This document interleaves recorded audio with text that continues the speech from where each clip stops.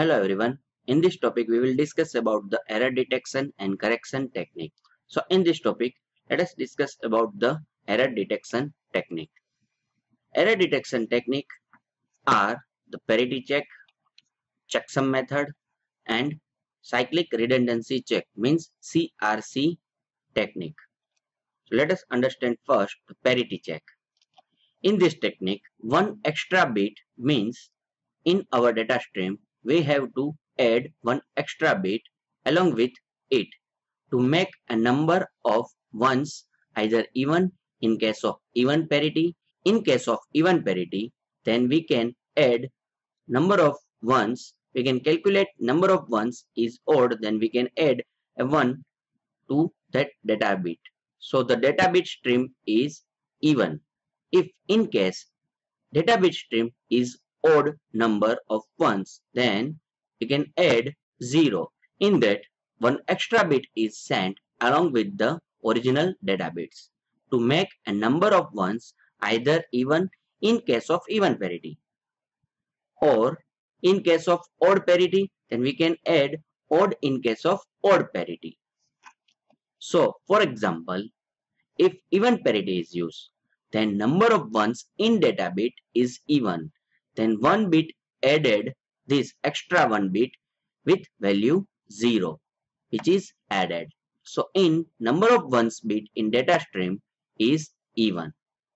This way number of ones remains even. In second case if the odd parity is used the number of ones is odd then that that extra bit is added with value 1. So we can say that this way, number of ones remains even. If the number of ones is odd, to make it even, a bit with value 1 is added in case of odd parity. Now, see, this is our data bits 100101. So, we have add one extra bit over here. So, now 1, 2, 3. We have total 3 ones number. So we have add one extra bit with value 1. So total we have 1, 2, 3, 4. 4 means even. So this is even parity. Similar in odd parity. Now at receiving side, receiver count the number of ones in a frame. Means receiving count that data bits and number of ones in that data bits frame. If the count is ones is even and even parity is used, then that considered the frame is not to be corrupted and it is accepted. So no bit level error in that frame. If in case the count of ones is odd and odd parity is used, the frame is still not corrupted because it is accepted and no bit error but in case if a single bit is flipped in transmission the receiver can detect it by counting number of ones. If used even parity and counted bit is odd, then receiver knows the bit is flipped. So it is not accepted and it is corrupted bit. But when more number of bit are erroneous, means not a single bit flip instead of the more number of bits are changed, then it is very hard to receiver to detect that error. So for that, we have used another method, checksum method. So in this checksum method, you have already studied this method in previous unit. Data divided into k segment. Each of m bits means m bits means data bits and k segments means total number of words. At sender side, the segment are added means sums using ones complement arithmetic operation to get resultant sums. Sums is complemented to get the checksum and that checksums send along with the segment to the receiver. So checksum segment is sent along with the data segment at receiving side. Now receiving side, the old received segment are added using ones complement arithmetic operation means the old word are added then after the ones complement arithmetic and to get complemented sums. So, in resultant, if result is 0, the receiving data is accepted and we can say that it is error-free data segment. And if result is non-zero, then we can say that the data is corrupted. So we can discard that data segment. See, here we see the example. K equals to 4 means segments. First segment, second segment. Summation of these segments, the carry is generated, added over here. Sum of this data bit, third segment, sum of these two segments, answer is here. Then added fourth segment because we have k equals to 4. So fourth segments, answer is here. The carry is generated. It's added over here. Now we do the arithmetic operation of one's complement of this sum. Complemented of this number is here.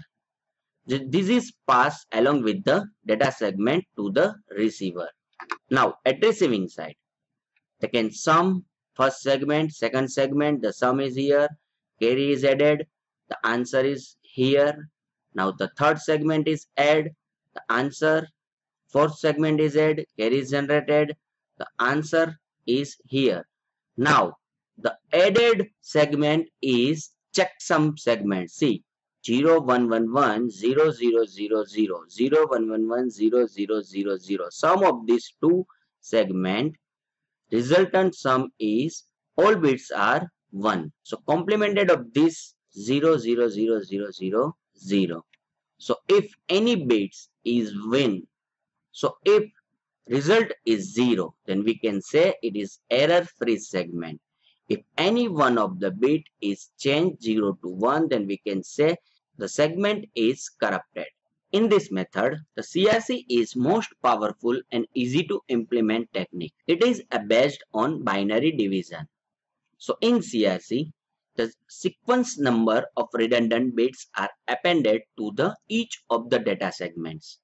So that resulting data unit become exactly divisible by a seconds means predetermine the binary number. And at the destination side the incoming data segments is divided by the same number. And if at these steps there is no reminder means zero reminder so we can say data unit is assumed to be corrected means error free and it is accepted.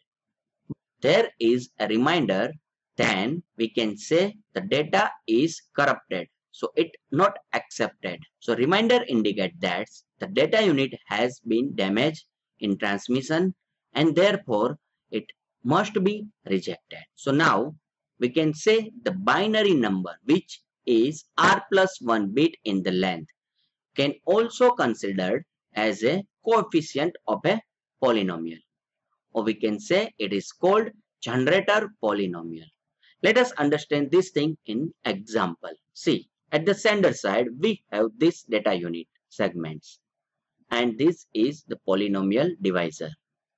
So divisor by 101, we can calculate the binary division. And the resultant answer, or we can say 10 is CRC code. Now, this CRC can added in data unit at receiving side. See, 11001 is our data unit and 10 CRC added over here. Data bits plus CRC. Same divisor over here.